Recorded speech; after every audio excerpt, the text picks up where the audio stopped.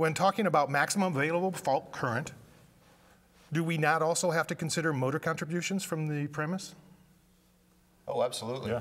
Jim, I'll let that. And uh, the, the considerations for that, though, are declining because a lot of the SCR-based drives are not uh, regenerative in, in character.